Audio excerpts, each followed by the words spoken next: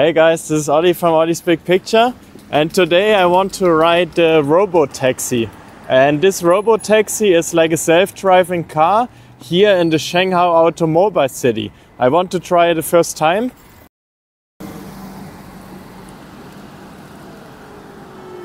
Okay, here it's coming.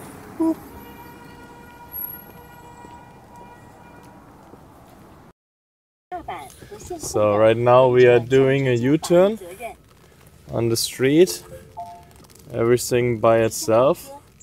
They're mandatory to still have a driver who drives. And uh, not who drives, I mean who's taking care that nothing happens, but apparently it's doing everything by itself.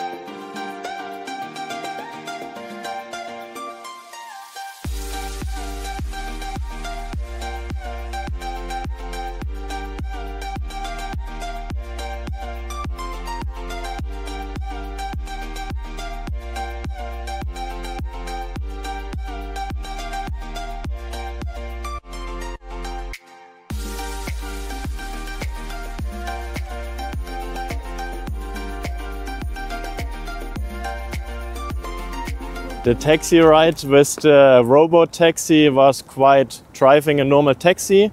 There's still a guy sitting there for some security reason, but he didn't have to do anything except confirming every 10 minutes that he's still basically on the seat. He had to touch the touchscreen and saying, Yes, I'm still working. The car is not driving without me, basically. And what is also quite surprising, I thought it's like a normal taxi, but they still have like specific stops where they stop for you and where they let you go off. So it's basically from one, one bus station to another. And what I also just learned, they have like three different brands.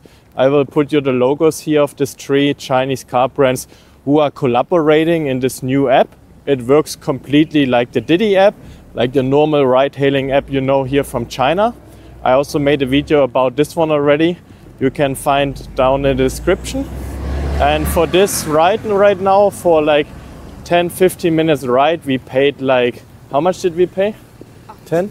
8, 8 renminbi. 8 renminbi, what is about $1 and 10 cents. So it's even cheaper than Didi right now because they're trying it out. It's kind of weird that the car drives by itself, so did everything without any issues. But it's a little bit boring that there's still a person sitting in front of the taxi. Ah, love Chinese noise. that that you still have like the person sitting in front of there, so it doesn't feel that spacey or that crazy as you would might expect.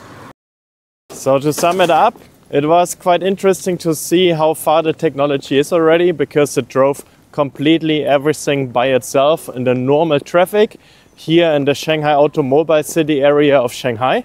And it was quite interesting. We just drove by the headquarters of Shanghai SAIC Volkswagen, what was like one of the first um, car factories here in China. And it's from Germany, from Volkswagen. And we just drove by with one of their competitors in a self driving car now in 2024. So, this is how quick the development here in China can go. And we're definitely gonna keep an eye on it, how it's gonna develop and test it out again. See you on the next one.